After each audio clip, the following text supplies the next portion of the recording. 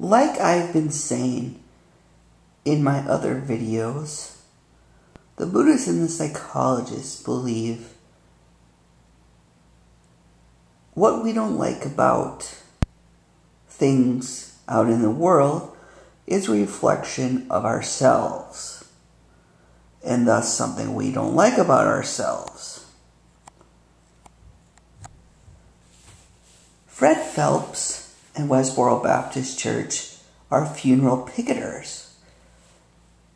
And I would bet you're one of those who have a problem with that. You don't like funeral picketing. You don't like funeral picketers. You have a problem with that part of yourself. Instead of dealing with it, you take it out on Fred Phelps and his crew. There is indeed a funeral picketer in all of us. Ever speak ill of the dead? There's an old saying, old advice don't speak ill of the dead. Yet most people do that. Sometimes it's about public figures who are long gone. Still, a lot of people are trash talking Ronald Reagan. Sometimes it's about people close to you. For example, my dad did not go to my grandmother's funeral because my stepmom did not want him to. And worse yet, my dad said he wanted to piss on the grave of my grandmother. Isn't that like funeral picketing?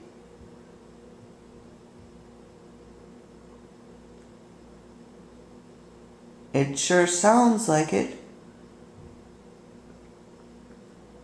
When I was in high school, I attended a funeral. I haven't attended too many funerals in my life.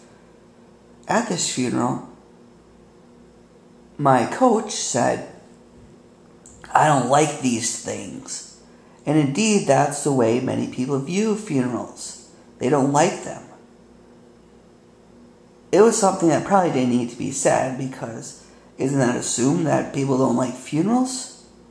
Funeral picketing is thus transform, transformative. Funeral picketing takes the one feeling, the feeling of sadness, which is so heavy during funerals. If you ever gone to a funeral, you will notice that people are so very sad about losing a loved one. The tension is so thick with sadness in the air, you could cut it with a knife. When Westboro Baptist Church shows up and they picket a funeral, other emotions arise, like shock, revulsion, and of course, anger. It helps dissipate the sadness and breaks the sadness. People like Wayne Dyer say we shouldn't dislike our enemies because our enemies are really teaching us something. Wayne Dyer is one of those who says our enemies are really our best teachers. So you should be thankful that Westboro Baptist Church is picketing a funeral because they're teaching you a great lesson in the process. You should also be thankful that you are at a funeral. Ever hear the saying, I was sad I had no shoes until I met someone with no feet? That's the positive attitude. You are not looking at it in a positive way when you are very sad at funerals. Instead of being so sad that you lost a loved one, you should be happy that you have a loved one to lose. Some of us don't have many, if any, loved ones to lose. That's why Westboro Baptist's sign, God hates your tears, is so appropriate. Buddhists additionally believe that death isn't something to be feared. They view it as rebirth.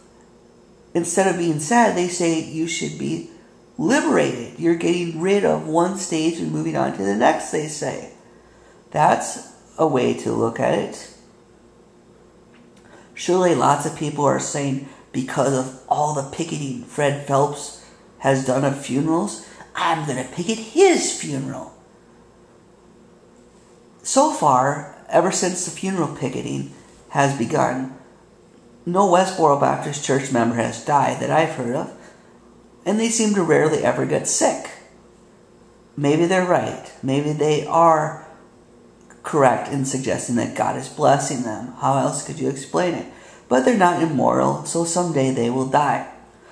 Fred Phelps is probably the first one to go. He's 80 years old now, and his time could be any time. So you're going to picket his funeral. Number one, that would make you just as bad as he is, and thus we get back to my main point that you really are a funeral picketer yourself. And secondly, do you really believe Westboro Baptist Church is going to give that bait to their opponents? I don't think so.